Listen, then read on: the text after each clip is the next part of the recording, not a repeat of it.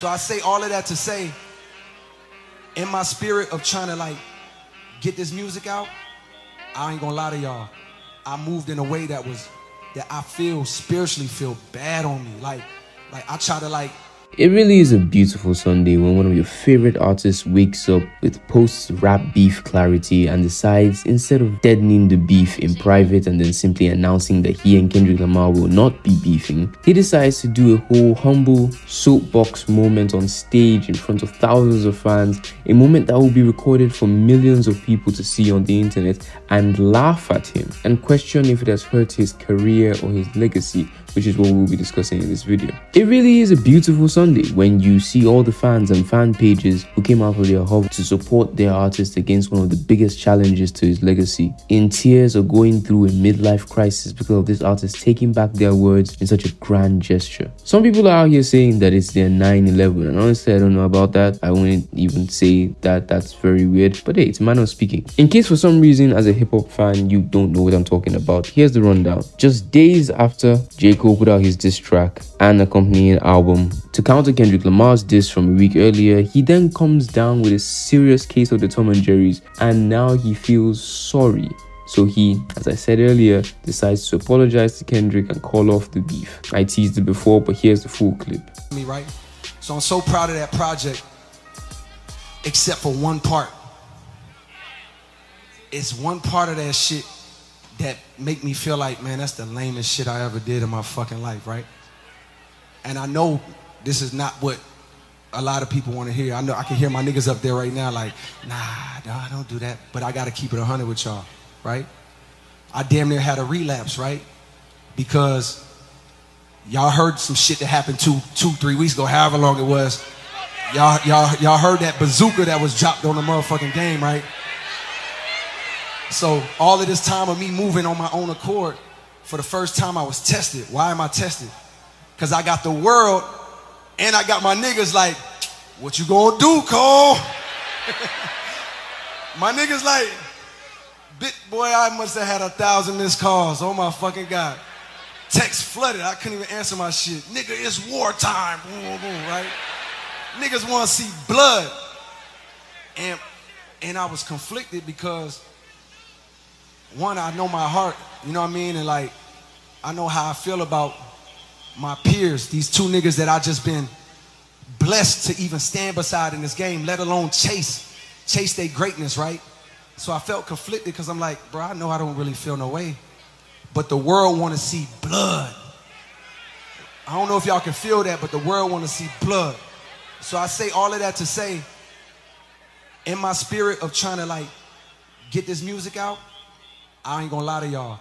I moved in a way that was that I feel spiritually feel bad on me. Like, like I try to like jab my nigga back and I try to keep it friendly. But at the end of the day, when I listen to it and when it comes out and I see the talk, that shit don't sit right with my spirit. That shit make me feel, that shit disrupts my fucking peace. So what I want to say right here tonight is in the midst of me doing that and, and in that shit, trying to find a little angle and downplay this, this nigga's fucking uh, catalog and his greatness, I want to say right now tonight, how many people think Kendrick Lamar is one of the greatest motherfuckers to ever touch a fucking microphone? Dreamville, y'all love Kendrick Lamar, correct? As do I. So I just want to come up here and be like, publicly be like, bruh, that was the lamest, like goofiest shit. And it make I say all that to say it made me feel like 10 years ago when I was moving incorrectly. And I pray that God aligned me back up on my purpose and on my path. You know what I mean? I pray that my nigga really didn't feel no way. And if he did, my nigga, I got my chin out. Take your best shot. I'm gonna take that shit on the chin, boy. Do what you do. You know what I mean? Like, all good. Like, it's it's love. And I pray that, you know, I pray that y'all are like, forgive a nigga for like the misstep and then and then I can get back to my true path. Cause I ain't gonna lie to y'all. The past two days felt terrible. Like, it let me know how good I've been sleeping for the past 10 years.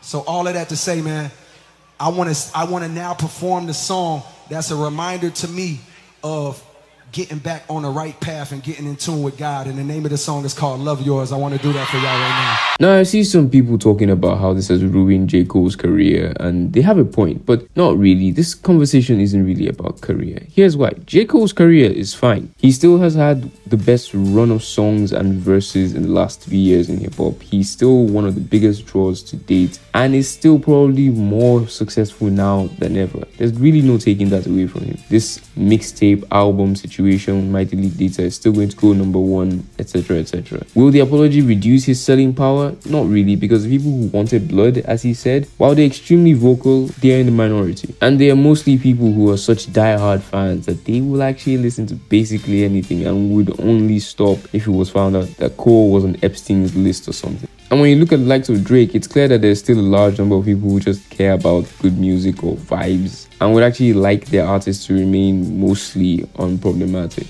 Of them female fans, or just people that subscribe to a more tolerant view of hip hop. So if his career is not what's at stake, then what is then? Well, in this case, it's about legacy. Here's why. J. Cole went back on his word.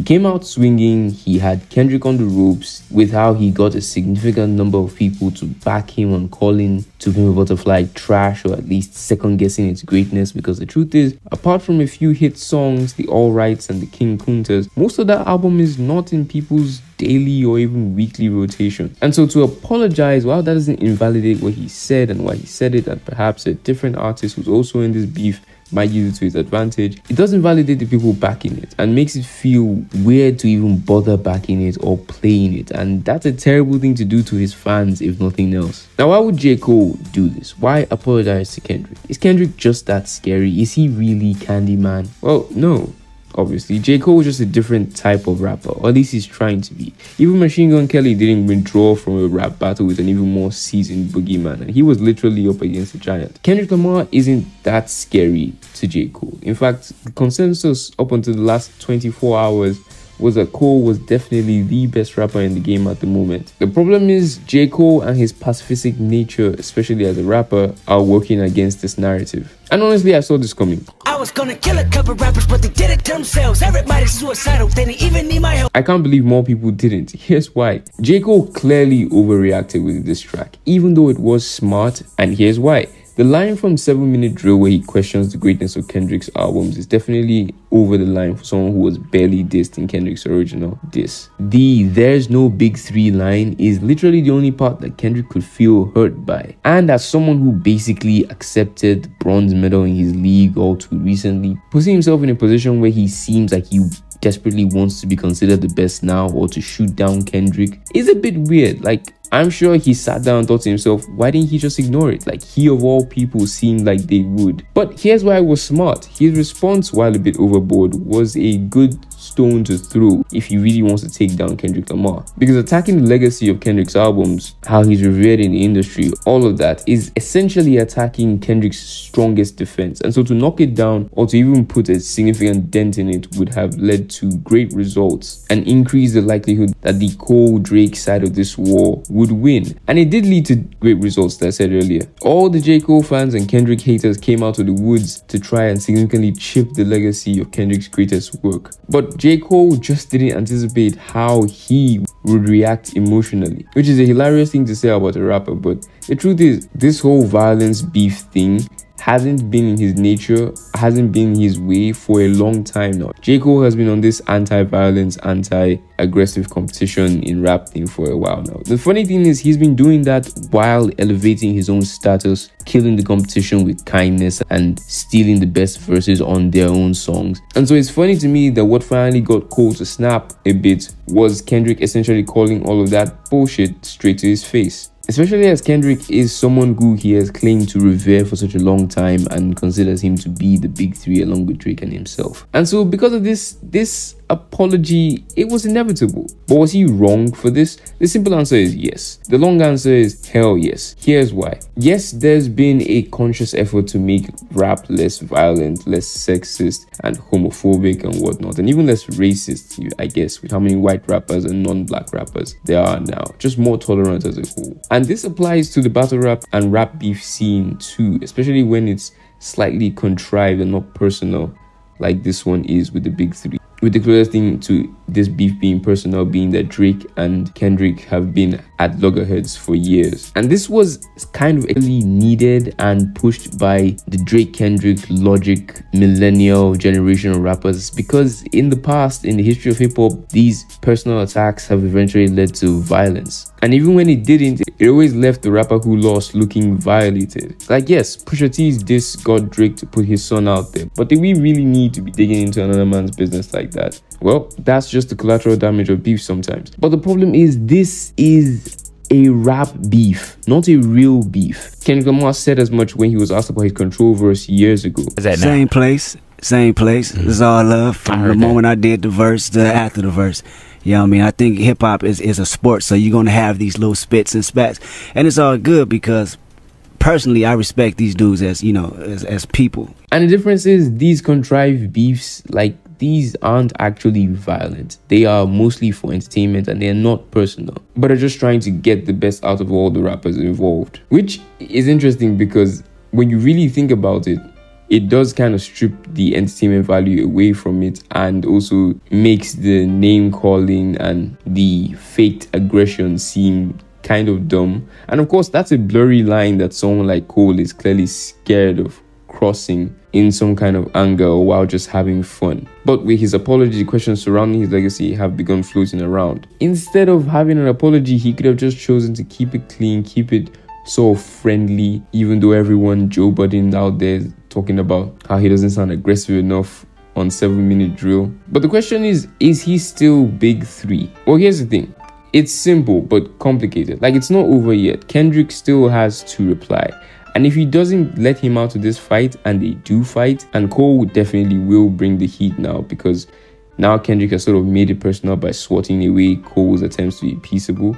Kendrick might just save his career. So in a funny way, Cole's career is now in the hands of Kendrick Lamar, but in such a way that if Kendrick doesn't respond, it's actually worse for Cole. And of course, an interesting situation for Drake, he has left Drake in a sore spot who, if you're wondering why he hasn't responded yet, I have a theory that involves military tactics. So stay tuned for that by subscribing.